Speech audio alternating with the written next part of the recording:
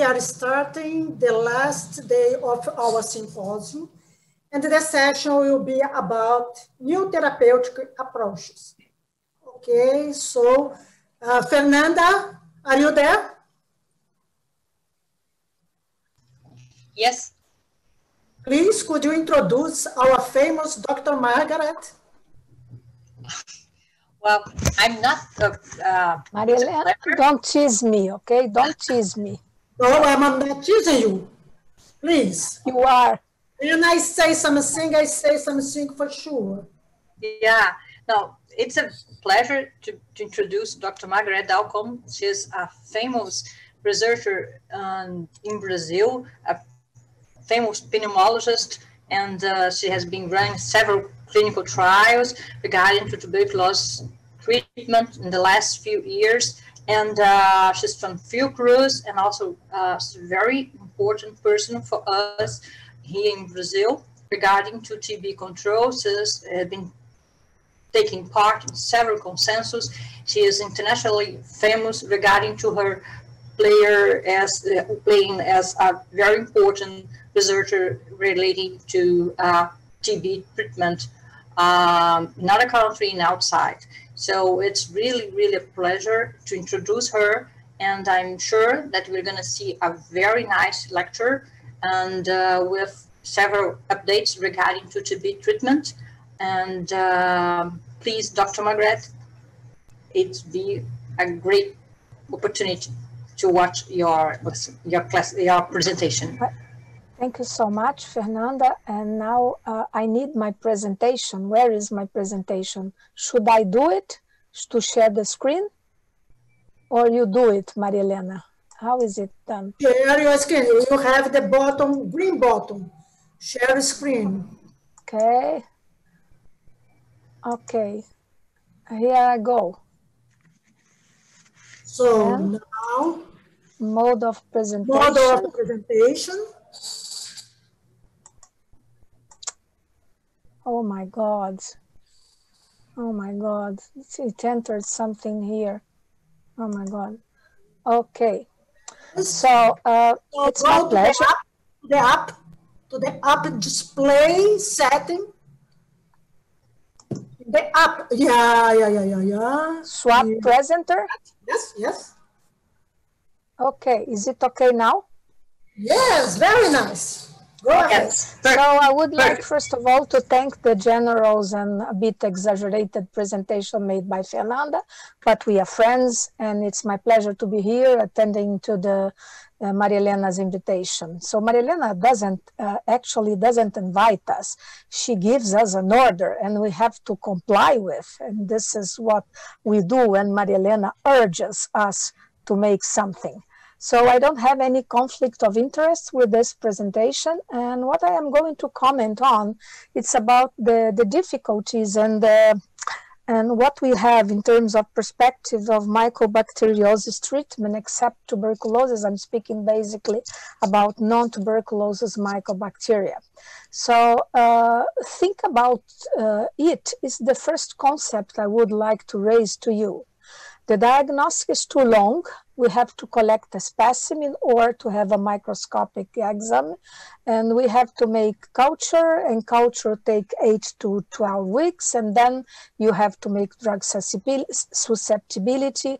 And then you have uh, prefer preferably uh, make the, the molecular identification. So the second concept I would like to raise is that our laboratories definitively need to switch from phenotypic uh, kind of mycobacteria to molecular uh, kind of diagnostic. Cultures uh, include both solid and liquid media. Broth media have a higher yield, solid media low observation of colony morphology, and identification of the strains. And this is more or less the, the, the, the, the the, the, molecular tree of the main uh, frequent mycobacteria according to this publication uh, from uh, 2007 and that is replaced now in this year, the current year, uh, with a new one.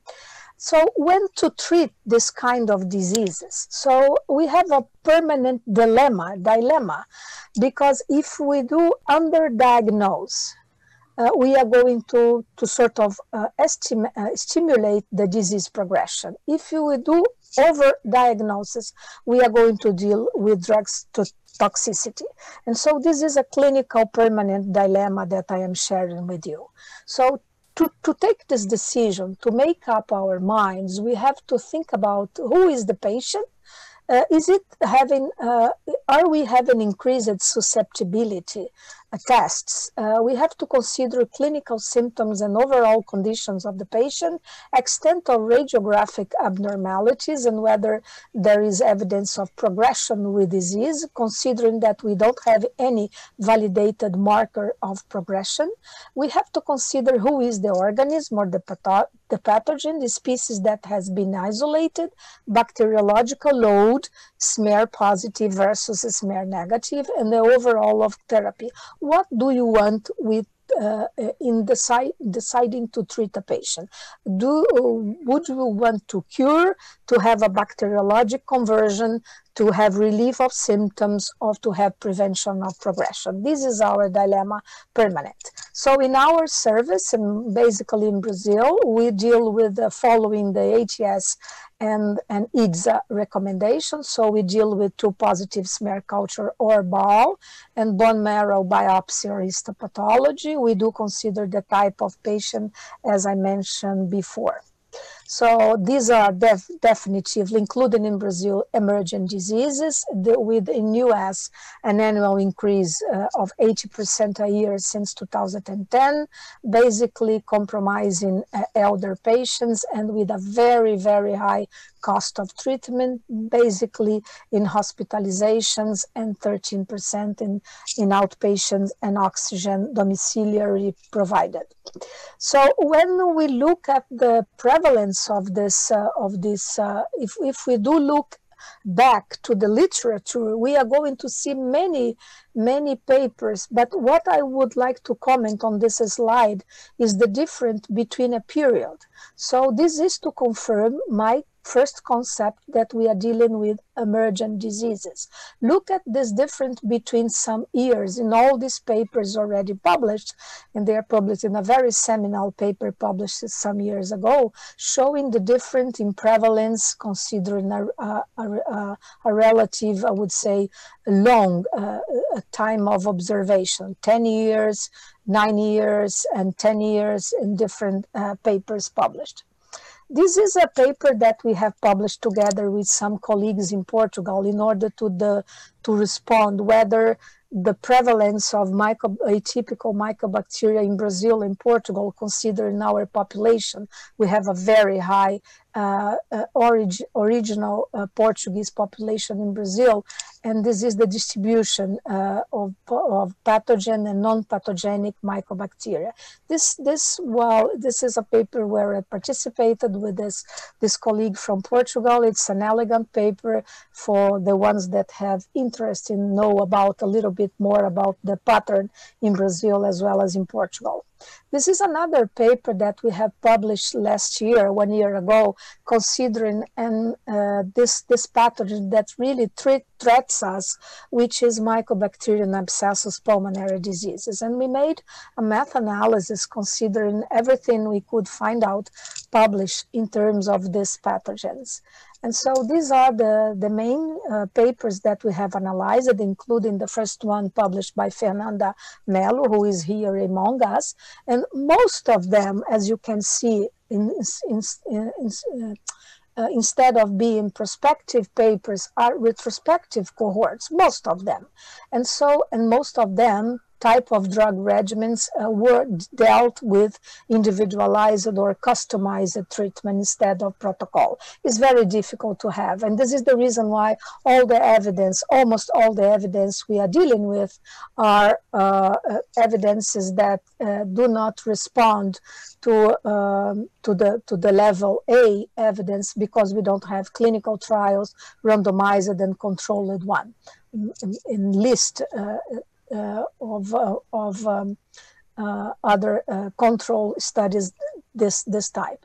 And this is the result of our meta-analysis considering the association of individual drugs with treatment success. What we can comment on this slide is that the the, the results are very poor in terms of negativation of culture and um, and the and the, the, the, clinical result of these patients. This is again the, the presence of uh, aminoglycosides in all these treatments, considering this uh, this resistant, this increasing resistant pattern uh, is definitively uh, is definitively making a difference when we do compare the resistance of macrolides and the presence of the aminoglycosides. The other thing that we have to consider, particularly when, and when we were treating these emerging diseases, are the conditions that predispose to these pulmonary diseases. So in, in terms of surviving with cystic fibrosis, HIV, and what something that is really demonstrated today, which is the Mendelian susceptibility to mycobacterial diseases, are some some issues that I would say that have been taken into account in order to decide whether you are going to treat or not. This is more or less the pattern. Consider I had to be very quick in my presentations, only to provide you some very uh, good uh, publications about this uh, this uh, prevalence of this. Um, this pathogenic um, mycobacteria, and this is comparing a European country in where the prevalence is more or less low, and in an Asian country where we know the prevalence of all these mycobacteria are much higher and known for a long while already. Another, another thing that it is important is the, the presence the, of the vir, of the bacterial load. For instance, in this slide uh, published a long time ago, and it is still true because it's already repeated in this in this year uh, guidelines just published some months ago. So the presence of a, a very uh, high um, heavy load of bacteria is consistent with progression of disease. And so I am showing this um, definitively in order to figure out about the importance of this information. So in terms of treatment regimens, uh, what do we need, what we expect in terms of goals, and considering the susceptibility of this, these pathogens uh, vis-a-vis the, the, the, drugs or regimens we are using, considering that we never are going to treat these pathogens with one single drug, or we have to treat at least three drugs to treat this. Mycobacterium kansasii, the, the question that we have to respond is whether they are susceptible to these drugs, we could expect uh, a very high rate of cure. But it depends. If the, uh, to this year, the, the, the current guidelines just published considered with a very, I would say, more or less uh, low or high uh, consistent uh, of evidence level to put a macrolide together in this treatment as well. And in terms of mycobacterium abscessus, this is the, the worst result. Uh, this is the, the, the, the, biggest threat we are facing uh, all over the world, including in Brazil, because our, because our expectation is not higher than 50% of a cure. In terms of, uh, in terms of treatment, for avium complex, for instance, uh, what we are considering according to the, the, the, late, the, the latest publications is, uh, uh, I would say, uh, if the patient is susceptible to macrolide or not. This is the first question to be responded. And if it is not, we have to associate at least four drugs. And in terms of new drugs, it's only a comment that I would like to, to raise. Uh, we know that some colleagues in, in US are using off-label uh, the bedaquiline, which is the new drugs uh, uh, already approved, included in Brazil recently by Conitec to be incorporated for tuberculosis treatment, and they are using for um, non-tuberculosis mycobacteria in an off-label way in US. So in terms of uh, uh, treatment, uh, we use this all this in some cases. Basically, the susceptibility to tigecycline is the highest one that we are having, we still having, including in Brazilian samples, is very similar to the literature in US. Uh, major conditions recommendations with weak evidence are just uh, recently being published, as I said. So this, uh, these guidelines uh, recently published worked on a systematic review based on 22 PICO questions which respond to uh, intervention, comparator, population, and outcome, and the recommendations use the grade approach to be uh, used. And so which kind, uh, which issues are more relevant are the resistance of rifampin in kansasii and avian. So it does complicated a lot, the response and the recommendations. The role of macrolides, uh, uh, they are increasing and the resistance to macrolides is also increasing, particularly when we do consider mycobacterium abscessus. The presence of cavitation, it can change the outcome of the treatment. The use of intermittent regimens, of course, we are allowed, ethically allowed to use more and more, and particularly when the patients are or the strain are susceptible to macrolides the role of surgery and the role of surgery despite not having a control, I would say, study, but it is a universal consensus that if the patient have uh, unilateral disease, we can submit uh, to surgery. And the duration of treatment is also something that has to be responded in further studies or further guidelines. This is the last guideline that we have. Uh, in terms of the mycobacteriums, I am in the last, uh, pre-last slides. In terms of mycobacterium abscessus, we have three species or subspecies, and there is a difference in terms of ex expectation, in terms of cure or good outcome uh, considering Massiliensis and subspecies abscessus abscessus, which seems to be the worst in terms of clinical response. And I could tell you that in our experience in Brazil, it's the same thing. We are finding out the same uh, type of uh, results. Uh, in terms of uh, Brazilian data, only to provide you some information for the ones that are not from here, we are increasing the, the number of reported cases in our database.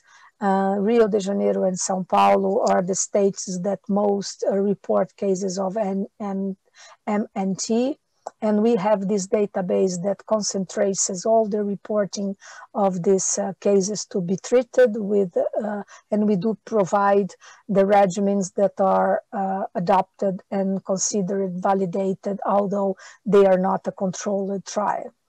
And uh, in terms of um, of conclusions, I would say that N and NTM are emergent diseases and increased prevalence even in Brazil uh, we submitted to the Minister of Health. And finally, the Brazilian Minister of Health and Fernanda and I, we take part of the steering committee that are sort of uh, writing the new guidelines for the Brazilian uh, conducts uh, of these diseases. And there are some risk factors to be better determined in our population. Laboratories should, should switch from final uh, phenotypic to molecular methods, species definitions, and drug susceptibility tests, and treat or not, it remains based on who is the patient, what is the pathogen, and the outcome that we do expect.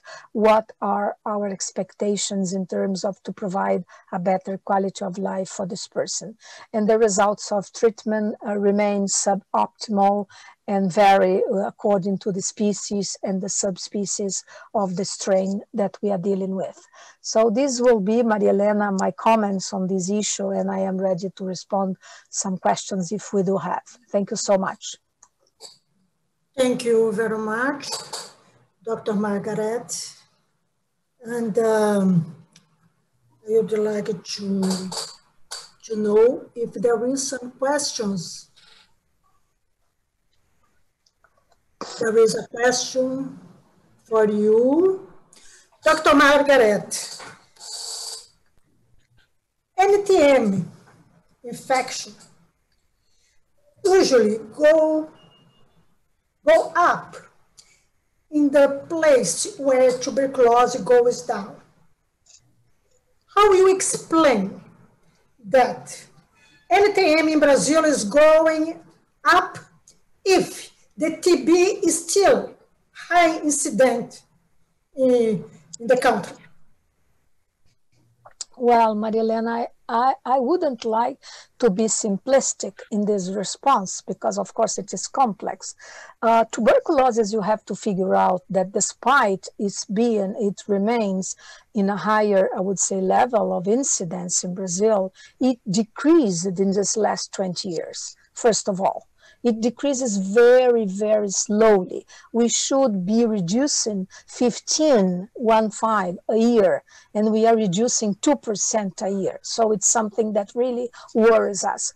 The second issue, which is considerably, I would say, relevant in Brazil, is that we are having a, a, higher life expectancy in Brazil. We have already 11% of our population over, over 60 years. And you have to understand this, these diseases are related to age to age as well as to some, uh, I would say, comorbidities. And so it's not difficult to explain that they have to be considered, uh, I would say, emergent diseases. And last but not least, we are dealing with different strains. We are having more abscessus, and abscessus is something a little bit new in our universe. And this is something that we have in our database, for instance, for you to be aware of. We have almost 300 cases of mycobacterium abscessus.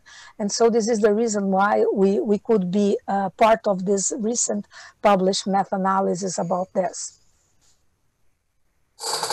Thank you very much.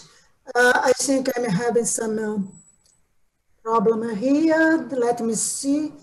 Fernanda would like to make some question.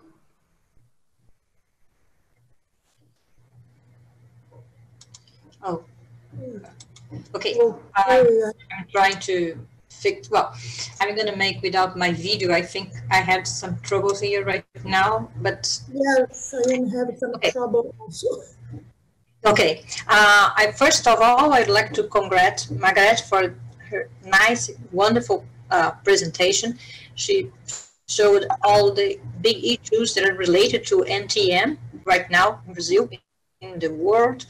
And uh, I'd like to ask her what she thinks about um, the diagnosis of NTM. How can we improve it? The importance to make pneumologists and clinicians and uh, because our feeling is that we are still uh, it's increasing because you have new diagnostic tests that allow us to detect it but we needed to make i i do i do believe that uh, it's necessary to make people understand that it's really an important disease right now and uh, in how to deal with it to make people understand that's a problem right now in our country and a very expensive problem and that our system and how does she believe that our know, SUS, our system of health care in Brazil should deal with it right now. Well, it's a very good question, Fernanda, and this is some sort of dilemma that we are living every day. It's the real world, I would say, that you are speaking about. Well, first of all, I, fully agree with you that the clinicians uh, should think about this possibility. They have to be more aware. And I hope that the, the guidelines that we are about to publish with a with, uh, with uh, the Ministry of Health uh, approval uh, could sort of um, stimulate people to think, uh, particularly in older people. And secondly, the other issue that you have raised is about labs. Our labs are not making diagnostic. We are not thinking about, we are not asking uh, uh, diagnostic method. So in our labs, as I said, should switch from phenotypic methods to genotypic methods, uh, and we have to have, uh, I would say, sequencing, uh, sequencing, or we have to have molecular method in order to establish the real, I would say, uh, strain and the real species, and with this to define uh, a reasonable, a more reasonable or acceptable treatment. We have, uh, we have um, time for a last question one question, and uh, thank you, uh, Fernanda. From Luana, question from Luana Correia. Can only mycobacteria result in calcified granuloma? Negative PPD is possible with granuloma? totally asymptomatic and without drug treatment. I ask this in the context where only image suggests the infection immunosuppression suppressed patient. I guess I guess this this uh, I guess this colleague is speaking not about NTM but about tuberculosis itself because PPD uh, to be considered uh, not the tuberculin tests, but, but the skin tests related to NTM are not being used except in some researches. So it, it does not, it's not inter, it's not important, it's not relevant, I would say. But to responding the question that, that is raised about tuberculosis, uh, PPD response uh, is not something that nowadays we, we do consider in, in terms of defined treatment alone. PPD positive or negative does not do with the presence of disease. If, for instance, the, the disease is active, the disease is very severe. PPD is important to define the treatment of latent infection, which I would say, uh, profiting on this moment, that it is the crucial, I would say, measure to control tuberculosis dissemination in the world. So it's not correct to leave the patients to be ill, to be treated, but instead we have to invest heavily in terms of detecting latent infection and to provide proper treatment to, la to latent infection of tuberculosis. So this is the importance of PPD or tuberculin tests as well as IGRA tests and, uh, and I do expect, Maria Helena, that Conitec, for the ones that are not aware, Conitec is this real, uh, this, this uh, week analyzing to be uh, to approve or not the incorporation of IGRA tests. And please, the ones that can still respond to the public consultation, do it because we need it for immunosuppressed patients, for the candidates to use immunobiological and other special cases at least. Thank you very much, Dr. Margaret. Your time is out and a very nice uh, talk. And uh, other questions, please, we will send to you if you have time, you may respond. Please, Dr. Margaret, could you introduce Dr. Fernanda? What you are going to give me this pleasure, Marilena. I am yes. I am highly suspect because yeah. you know to introduce to do, I am biased. I have conflict of interest, yeah. but I assume them but I assume them. To introduce Fernanda is not only a pleasure, but I am very proud to do it because Fernanda makes us, uh, her colleagues, proud to live with her. Fernanda is a full professor at the university, the Federal University of Rio de Janeiro of respiratory diseases. And Fernanda has been conducting trials for all these at least 20 years. Fernanda is responsible to the Instituto do Thorax, has been her, its director, and Fernanda is a professor very well recognized by the students and by her colleagues. This is the, the reason why I am very proud to introduce her, and I, give, I have the pleasure to give her the floor. The floor is yours, Fernanda. Yeah, thank you very Before much. You, you know, Fernanda, please, uh, Fernanda, uh -huh. please, before you started, I would like to deliver a message for uh, Dr. Margaret from Dr. Cardona. Congratulations, Margaret, a great talk.